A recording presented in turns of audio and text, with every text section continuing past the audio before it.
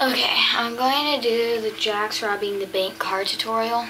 So, this is how you have to set up your cards. You need to take three random cards. And you need to have all your four jacks.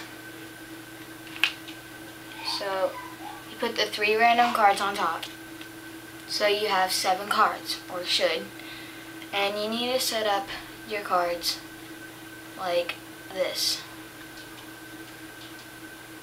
So that you're holding all four jacks like this.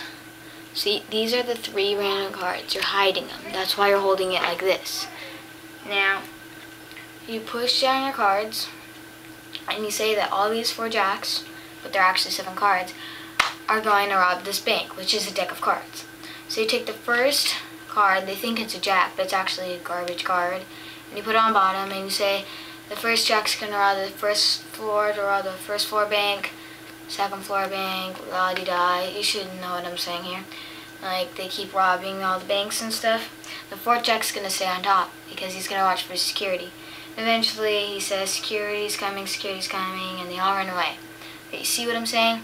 You just put the 300 cards anywhere but the three jacks just stay, the four jacks just stay on top. So that's how you do a Jack's card trick tutorial. So thank you for watching and rate and com please comment my video.